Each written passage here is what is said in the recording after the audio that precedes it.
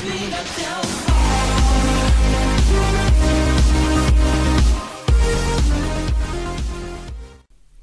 guys, Spy Heiny here with another Animorphs vlog. This is book 29, The Sickness. Speaking of sickness, that cover is just sickly. As is the... It... Trying to do things with one hand here, guys. As is the inside cover. Ugh. The flip book, I'm going to try to show you if this thing pop. No, it's not going to cooperate.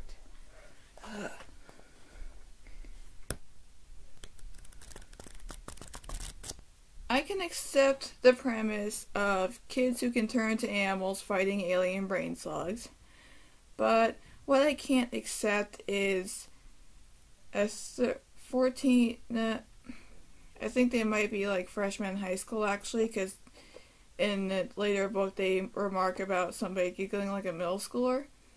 So they must be at most freshmen in high school or maybe sophomores. But that is still way too young to be doing frickin' brain surgery on an alien. Like I could see a actual neurosurgeon applying what they learned from doing actual brain surgery for years to do brain surgery on an alien. But this is a like 14, 15 year old girl who has no background in veterinary medicine. Well, okay, her parents are veterinarians, but she's never actually studied it. Just because her parents are veterinarians doesn't mean she knows how to do brain surgery on a species that is not from Earth. It's just a little too unbelievable. Because that's the main plot of, well, that's the A plot.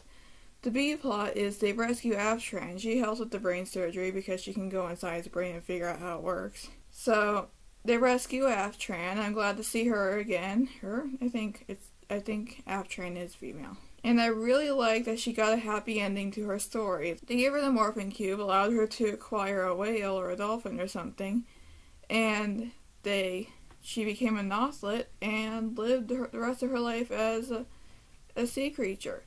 So that's that's an awesome end to the story, and that makes me think there might be hope for a peaceful resolution with the Yeerks. Which is something I like about Cassie's character is that she is always looking for the peaceful resolution, even though she's surrounded by cruelty and she she's fighting this evil, irredeemable alien parasite species. She still looks for the good in everybody, even though she's fighting. It'd be so easy for her to try to desensitize herself to make fighting easier, but she doesn't go that route.